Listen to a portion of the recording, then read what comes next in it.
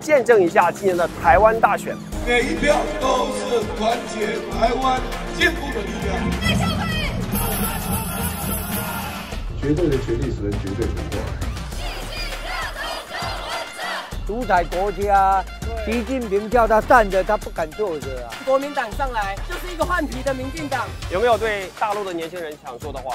你们，我真的很抱歉。他讲的很好哎。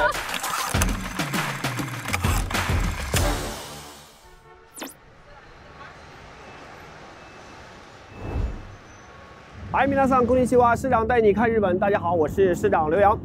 不过今天我们不是看日本了，市长现在呢就在台湾的总统府前面，也就是最近新闻上常常出现的凯达格兰大道上。啊，其实这一次来台湾的原因很简单啊，前段时间呢我在追一部台剧，叫《人选之人造浪者》，真的是太好看、太上头了。我问了我台湾的同事啊，他们说非常的写实， 所以呢我就决定一定要来见证一下今年的台湾大选，来过一把民主的瘾。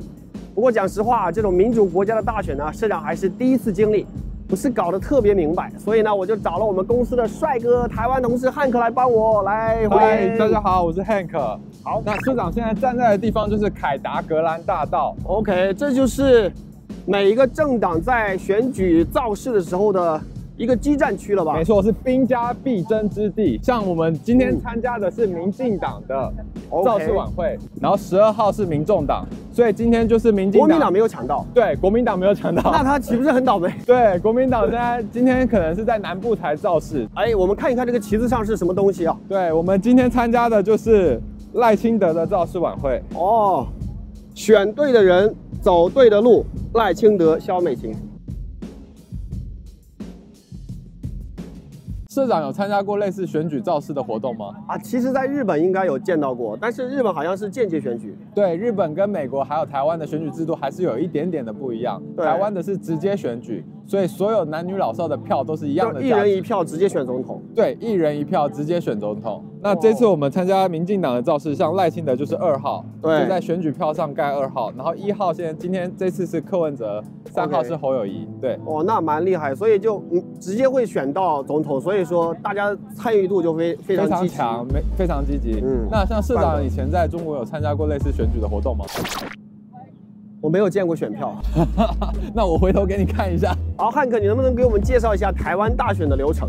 好，台湾大选一般分三个阶段。那一开始选前三到六个月，选举委员会会公布大选呃登记的时间跟选举的日程。那所有的党政党就会开始推出自己的总统候选人去登记。那第二个阶段是什么？第二阶段就是开始像我们这种造势活动，全台湾各个大大小小的乡镇还有议员，他们会出来帮自己的政党跟候选人造势。造势之后，就是所有的政党会投放广告，贴所有广告看板、贴海报，能能去造势的地方全去。没错，能去造势的，能去抢到场地的地方。所以像今天我们这种凯道上面的造势活动，应该是最后一环了吧？对，这里是最后一击，高潮的。最高潮就是在最后这几天，明白了。如果他们这个造势活动结束了以后，那就应该是去直接投票了吧？对，十三号就是正式投票。我们今天是十一号，其实倒数剩两天了。那我们第三阶段就是投票当天，就是今年的一月十三号。社长，我给你看一个东西。好。哦，这是什么东西？这是选举公报。第十六任总统、副总统选举公报。这次的三组候选人都会寄到每一个公民的家里，然后还会有一个小单子。那个小单子比较多，那个私人的资讯我就没有带上了。但是那个小单子带去投票所，他就会换真正的选票给你看。那社长刚刚想问选票长什么样子，在这里。哦，选票对，上面是照片、候选人以及姓名，然后还有谁谁哪一个政党推荐。最上面这里在选票上面是空白的，旁边会有一个印章。那你就在你认可的候选人上面盖章，盖章后拿出来，这里有一个选举的过程的图，进去核对身份，领到选票，领到圈票处，盖上章之后出来，把投进去，投进票轨之后完成投，完成哦，对，这就是这么回事，选举的流程。那个小屋子是什么样的氛围？就是安全密闭，让你不会有任何人影响你的投票决定。根本不能拍照吗？不能拍照。在里面其实非常严肃，因为其实呃会有一些像警务人员会在现场维持秩序，然后你也不能拉票，也不能进行选举的推广，也不能发这种旗子或者文宣的东西。就那一天就让大家安心来选。对，安心来选，路上的广告看板也会都拆掉。OK，你都不哦能有任何的广告效呃影响投票人的决定。其实我们昨天去参加民众党的那个造势大会，那边就有那个柯文哲的柯 P 的旗子，是还有中华民国的国旗。是你看今天民进党的就没有见到中华民国的国旗。是，因为民进党他们比较支持啊，外交部上面有一个。那我们晚一点一起来感受台湾的造势活动吧。好，近年来，民进党在台湾政治中占据主导地位，看上去好像是一党独大，但是民主国家的一党独大和专制国家的一党独裁有本质的区别。那你觉得共产党的一党专政和这种相对比较强势的党，它的最本质的区别是什么？呃，在专制的体制中，是政党一个政党会把所有的资源拿在手上，地方、中央或者行政、司法他说了全算。坚持党对一切工作的领导，党政军民学，东南西北中，党是领导一切的。对，所有只有一个党可以讲所有呃，所有共共产党就是这样子，所以我们连中国的私企、外企都会设党支部啊。去年听说说英国的汇丰银行居然成立了党支部，哇，英国的银行在中国做生意还要成立党支部，台湾应该没有这种现象，不可能吧？台湾没有这种现象。那举个例子，二零二二年的时候，台湾进行了县市首长的地方选举，二十二个县市首长中，民进党只拿下五个，反而是国民党拿下了十三个。OK，所以是有地方跟中央互相制衡的。那在全国的市议员中，九百一十席，国民党拿到了三百六十七席，民进党有两百七十七席，所以国民党在地方的议会中也是占优势。然后其实还有第二个区别，其实我刚刚有提到了，就是有反对党的存在，才能有政党轮替，然后也会有在野跟行政上的互相制衡。那像社长之前在中国有反对党的存在吗？哎，你不知道啊，其实中国有什么国民党啊、民革呀、民建呀、九三学社呀，是对，但是这些都是花瓶。哦，所以他们反对党有什么实质的权利吗？他们的权利就是拥护共产党的统治，这太扯了吧！对啊所以是，这就是他们的党章。所以在野党是拥护执政党，他们负责拍手、拍手、举手、拍手，举手拍手党。所以也被称为拍手党。大叔你好，我是来自日本的 YouTuber，你好。好，你好，你好，我是支持民进党的，哦，你对国民党怎么看？我对国民党很反感呢，因为国民党哦说话不算话、啊。你最近有没有看马英九的采访？马英九，马英九他是共产党的啊，哦，好厉害！我知道你知道他怎么讲吗？啊，我知道啊。他讲他要他讲一定要相信习近平。他说习近平放屁，他就放屁。哇，大叔好厉害！大叔，你今年多大了？我今年八十二岁了，八十二岁哦，完全看不出来，你好年轻啊！哎，真的啊、谢谢你啊。对，如果在大陆的话，八十二岁很老很老了。啊，大陆他们生活很没什啊，么。他们生活生活不不单纯啊，是独裁独裁国家啊。我们台湾啊，总统说叫你坐下，我说我不要坐下，我要蹲下，都可以的。习近平叫你坐下，你就坐下；不，我叫们是直接你站跪下。我是从日本来的 YouTube，所以你有对日本观众想说的话吗？哦日本でもいいですよ。えー日本語わわ私はわからんね。 啊，我干了。少しだ，少し少しですね。那用国语也可以。国语，我用国语来讲了哦。啊，日本日本哈、我是很欣赏他们，也是很佩服他们呐、因为我是半个日本人呐、哦，是吗？我站在我半个日本人哦，我一定是支持日本的啦， 对不对？再怎么样，日本我都是说他好，一级棒的是。所以台湾有事就是日本有事。对呀、你好，你好我们是来自日本的 YouTuber，可以可以采访你一下吗？可以，你是从哪里来？我是台北人，哦，是台北人。，对，不好意思，可以问你今年多大了吗？我三十一岁。我们从日本来的时候，日本的年轻人几乎都不去投票的，啊，为什么？因为还好像他们觉得投票的事情交给老年人干就好了。不是不是，对，所以你们台湾年轻人怎么想？因为我们觉得这就是民主自由啊，就是你要为了你自己投票，不是为了别人，是为为了自自己对，争取，对，这是什么意思？好好卡派克，就是投科坏去。只是现在太多年轻人支持柯文哲了。对然后我们觉得选择柯文哲的人都是大卡派 key。你今天来参加造势活动是支持民进党，对，一、没错。为什么三，因为我觉得这八年我过得很安逸，我想要延续下去。？OK，有没有想对我们日本的观众想说的话？台湾最自由啊。谢谢。其实前段时间，呃，嗯我们已经去世的首相安倍首相，嗯他有讲过，台湾有事就是日本有事，你知道这个？我知道，我知道。对，台日友好。台日友好，因为我是中国大陆出生，嗨，我们都知道对岸是没有民主选举的。对，有没有对大陆的年轻人想说的话？大陆年轻人，你你们生错地方了，我真的很抱歉，这不是我们的问题。他讲的很好哎、刚才我有采访一个另外一个台湾的年轻人，他说你们要去争取自由。我说你多大了？他说二十一岁。嗯我说从你出生到现在，你做了什么样的争取活动？对啊，你不是做了什么？我生的好我就问。他回答的很好，他说生的好。对、o k 谢谢。非常感谢，谢谢你，谢谢。头磕坏去，卡卡派 key。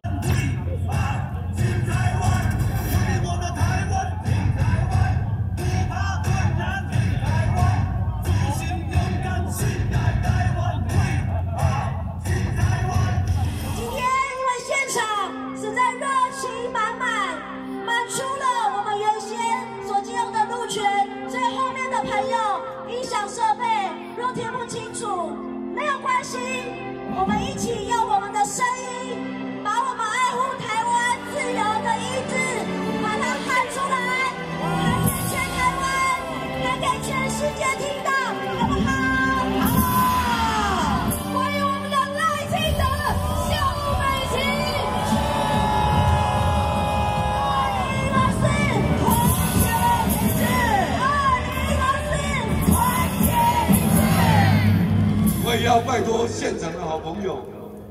收看电视机和网络直播的好朋友，再帮我和美琴拉一票，拉两票，拉三票，每一票都是团结台湾进步的力量。你好，我们是来自日本的 YouTube。对，哎，可以采访你一下吗？可以啊，可以啊。你是第一次参加这个大选造势吗？不是不是，啊，不是第一次，之前就来过了，对，四年前跟八年前都来过。都哎，你好年轻哎，但是你八年前就参加过。对，那时候是我第一次要投票的时候。OK，你也知道我是从日本过来，那日本的年轻人啊都不太投票的。对，日本都是老人政治，年轻人都不投票。不行，日本年轻人要投票。对我正想让你跟他们讲一下。对，我们我们台湾人很喜欢去日本，我去东京三次，然后大阪一次，京都两次，福冈一次。日本的首相安倍晋三他有讲过，台湾有事就是日本有事，你有你有听听过没有？我们其实很感谢日本这样对台湾的发声，这对台湾在国际上都非常台日友好，台日友好，台日友好，台日友好。对，但同时我是中国大陆出身，没 没关系，没关系。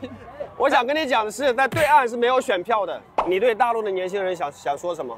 呃，欢迎你们来台湾，让出祖国，然后来到台湾这样子。哦，你也知道润出祖国，论出认出认出，不要去美国，美国太危险，来台湾就好了。好好机票一一张就来台湾了。好，谢谢，谢谢你，谢谢谢谢你，谢谢谢谢你们谢谢谢谢。社长，我们现在参加完民进党的造势，你有没有什么感想想要说的？我感觉民进党真的是兵强马壮啊，对十五万人哎，十五万人，可是我明天就要回日本了。太可惜了。对，所以接下来要把任务交给你，好，没问题，明天我会再来凯道看民众党的现场，继续帮我探班台湾的大选造势，没有问题。好吧？好，好，辛苦你啊，继续加油。加油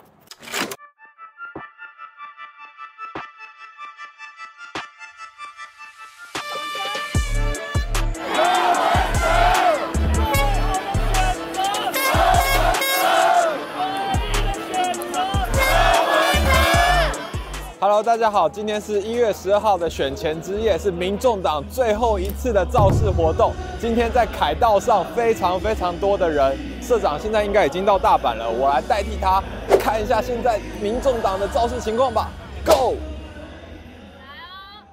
你是为什么要扮成这个样子？因为科比明天就是要去总统府上班了，对不对？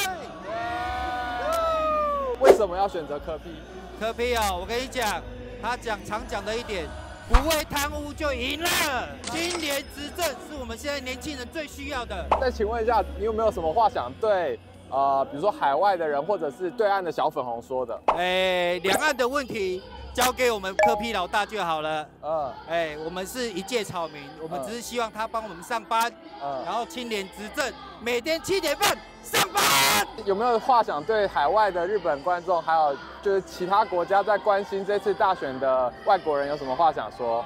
爱惜对路，台日友好嘛，对不对？对。为什么柯文哲是以这个小草为形象呢？因为小草它会从石缝里面钻出来，是因为蓝色、绿色都是大石头，好，所以它钻出来以后，明天就变大草了。要为什么要支持柯文哲？很简单，国民党、民进党，我们通通给他机会过，尤其是民进党，国会过半，总统又是他，做了八年，做出了什么事情？没有，没有。除了柯文哲，我们还能相信谁？有没有想要对对岸的小粉红说的？哎，相信台湾，柯文哲会把两边的关系处理得很好，我们相信他，也请对岸相信他。而且我太太是贵州人，嗯，对，哦我太太是大陆人，嗯嗯是，所以我一定相信柯文哲。因为现在全世界媒体都很关心台湾的这次大选，嗯，有没有想要对日本的观众或者日本的媒体说的话？台日友好，I love Japan，Japan love Taiwan。好，我爱日本，也希望日本爱台湾，爱柯文哲。谢谢你们，谢谢。现在时间已经是八点四十七分，将近要九点了。现场的年轻人还是非常的多。然后刚刚我看现场直播，有非常多的网红为科批站台。科批在年轻人族群里面有非常强的号召力。等一下，如果我们有机会的话，到我前面去看一下现场的状况吧。哦！我们现在被挤在景福门外面，就是连凯道都挤不上去。然后现在柯文哲上场了。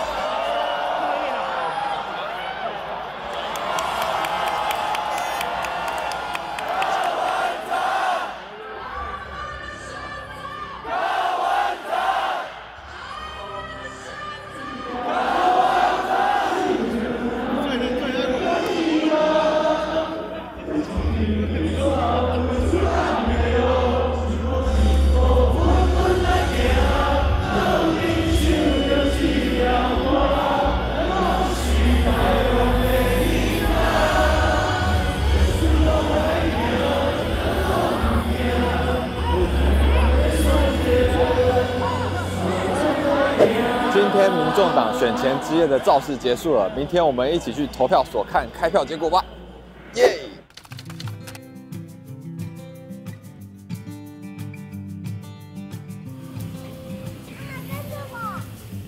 今天已经是一月十三号投票日当天了，我现在在我所住的选区的投票所。那在台湾有一千多个像这样的地方变成投票所，给选民去投票。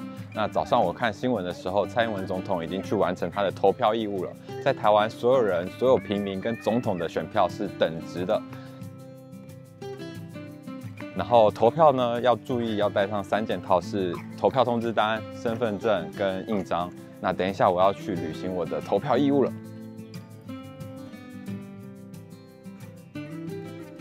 好，我已经完成我的投票任务了。刚刚里面的流程，我大概在之前的选举公报有讲过，在里面可以拿到三张选票，分别是总统、不分区立委跟分区立委。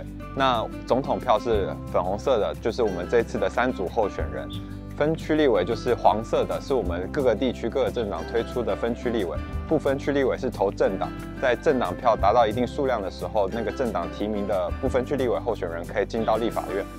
接下来我们就等晚上的开票结果，去开票结果现场吧。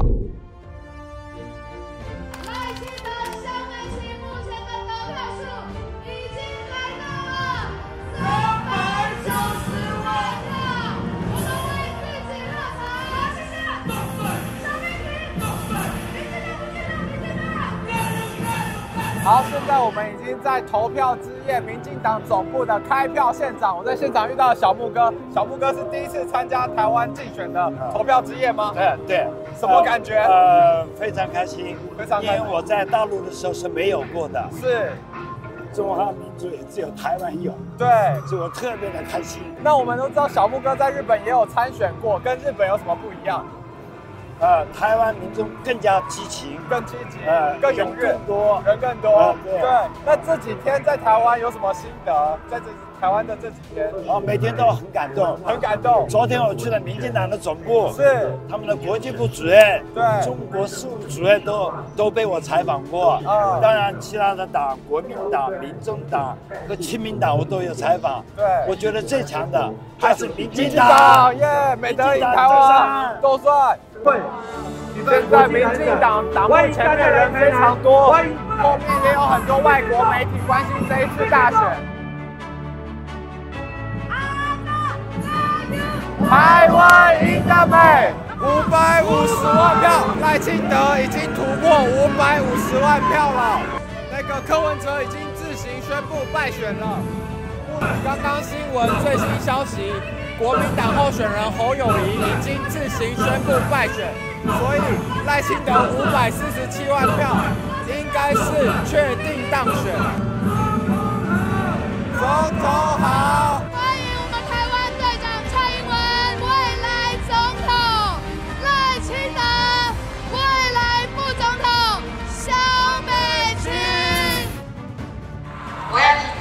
身份，恭喜赖清德副总统顺利当选。我要感谢全体台湾人民，我们再一次共同完成民主社会中最重要的一场选战。让我们相信民主，相信台湾，相信人民，我们继续走下去，拼下去，好不好？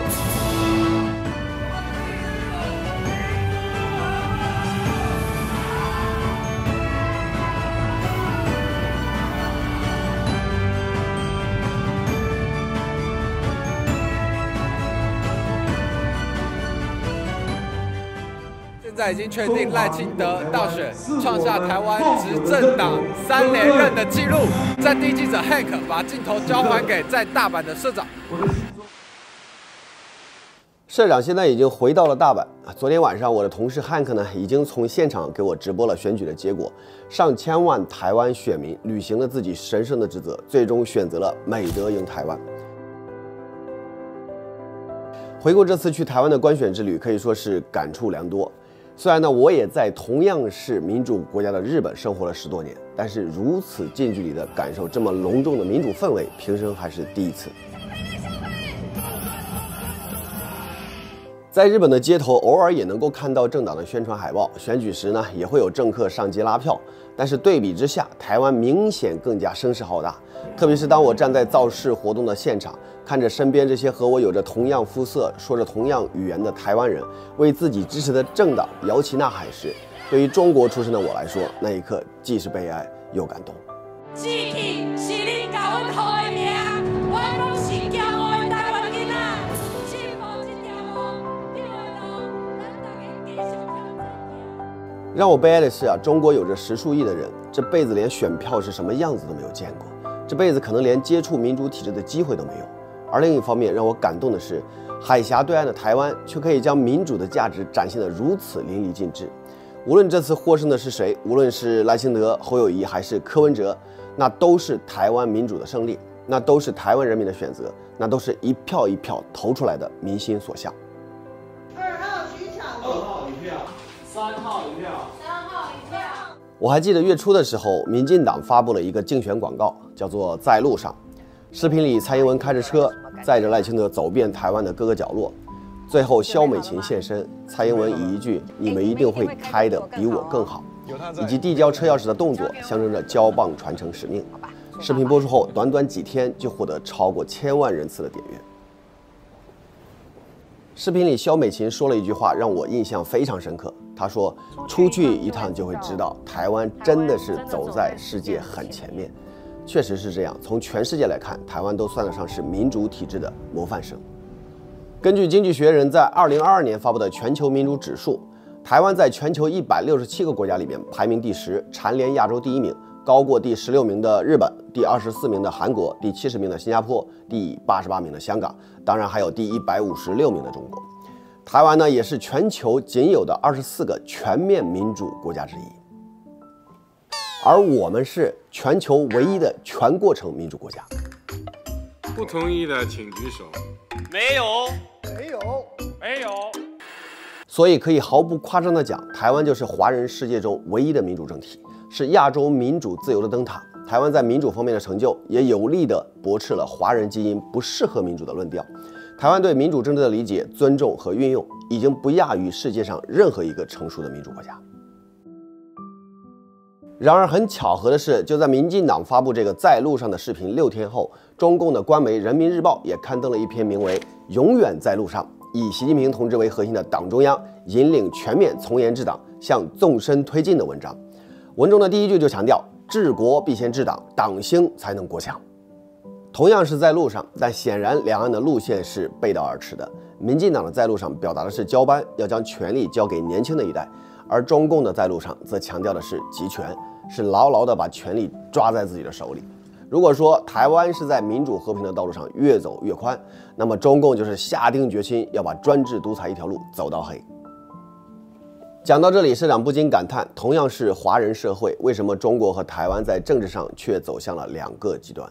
其实回看历史，转折点呢就发生在一九八九年到一九九零年这不平凡的两年里，中国和台湾分别发生了八九学运和一百合学运。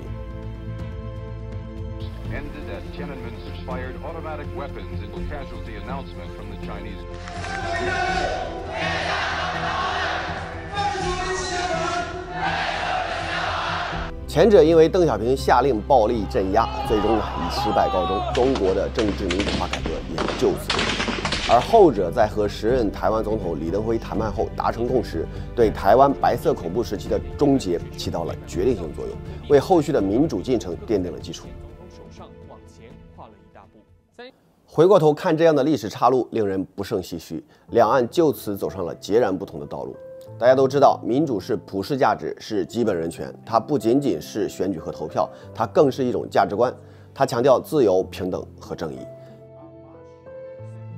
台湾的朋友们，特别是一些年轻人，你们可能从小就生活在这种民主社会里，已经对这种民主氛围习以为常，甚至可能还会产生一些厌倦和审美疲劳。但我想告诉你们的是，根据《经济学人》的民主指数，事实上全球只有不到一半的人口生活在民主国家，还有超过三分之一的人口生活在威权体制下，他们无法享受民主带来的自由和权利，他们生活在政治压迫和权力泛滥的阴影之下。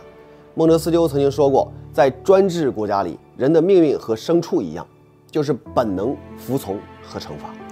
对于这些人来说，民主不仅是一种渴望，更是一种奢侈。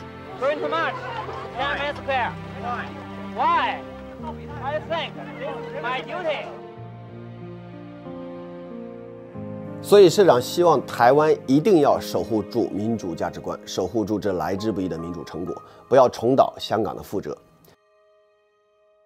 就像赖清德在视频里说的那样，没有和平和民主，就不是台湾的了。这是很多人努力的结果。好了，今天的节目就到这里。如果你喜欢本期节目，欢迎订阅、点赞、评论。我是市长刘洋，我们下期再见。